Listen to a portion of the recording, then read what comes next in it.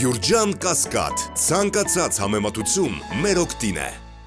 Սիրելի հայրենակիցներ, դեռևս ամիսներ առաջ ես եւ ընդդիմադիր գործընկերս ահազանգում էինք, որ Ադրբեջանը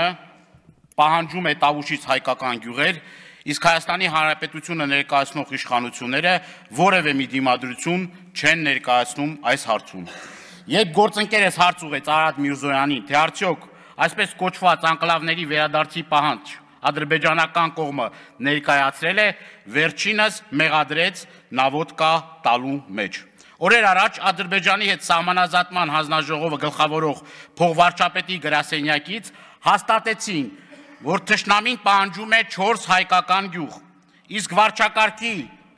Պարագլուխն իր ասուլիսում խոսելով գյուղերի մասին ներկայացնեց դրանք որպես ադրբեջանական։ Երեք էլ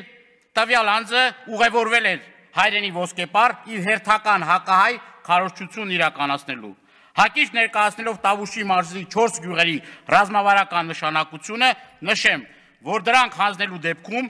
ճշնամին կհայտնվի խորը թիկունքում, ինչի հետևանքով կկազմակերպվի ողջ Տավուշի պաշտպանական գիծը եւ նաև Հայաստանի Հանրապետության հյուսիս-արևելյան սահմանագիծը։ Հայաստանը սնուցող հիմնական գազատարը կանցնի Ադրբեջանի վերահսկողության տակ։ Ադրբեջանը չի բավարարվի գյուղերի հանձնումով, պահանջելով նաև կոմունիկացիաներ։ Ադրբեջանական ստորաբաժանումները կտեղակայվեն հայկական բնակավայրերին շատ մոտ, վտանգ սպառնալով բնակչությանը, պետական հաստատություններին, դպրոցներին, մանկապարտեզներին։ Հայաստան-Վրաստան ճանապարհը կամ Երևան-Թբիլիսի մայրուղու 5 հատվածներ կհայտնվեն այդ ստորաբաժանումների վերահսկողության ներքո եւ անհնարին կդարձնեն ճանապարհի սպասարկումը։ Լոռու մարզը կդառնա սահմանամերձ, կվերահսկվի Բերդի տարածաշրջան տանող ճանապարհը։ Այս գյուղերի հանձնումով Ադրբեջան օղակի մեջ առնելու ամբողջ Հայաստանի Հանրապետությունը։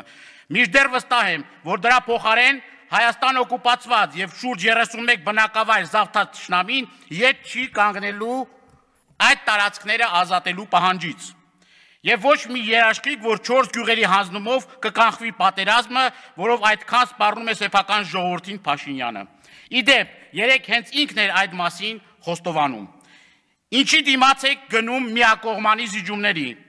Ցավոք, ճշնամական խոսույթին տեղի տվող իշխանությունների օրոք ստիպված ենք մեր իսկ երկրում կռիվ տալու հայկականությունը պահելու համար բացատրելու, որ այս կամ այն գյուղը, որը ոչ թե ադրբեջանական է, այլ հայկական, որ այդ հողերի համար իրենց կյանքն են տվել բազմաթիվ հայրենիներ, որ այդ հողերի վրա են վեր խորայում հայկական եկեղեցիներ եւ բերթեր։ Բաղանիստ իր 4-րդ դարի խոնարհված եկեղեցիով, ոսկեպարն իր 7-րդ դարի տաճարով եւ խաչքարերով չեն հայտնվելու շնամու ճիրաններում։ Հակառակ դեպքում անիծվելու եք դարեդար մեր տունը, մեր հայրենիքը զիջելու, մեր ինքնիշխանությունը ոչնչացնելու համար։ Սիրելի հայրենակիցներ, եթե դուք որոշեք, որ Տավուշի տարածք չի հանձնվելու, ապա դա տեղի չի ունենալու։ Հանրային դիմադրության ցույց տալու դեպքում ոչ միայն իշխանությունը չի կարողանալու ոչ մի զիջում անել, այլ կարողանալու ենք անառիկ պահել մեր հայրենիքը։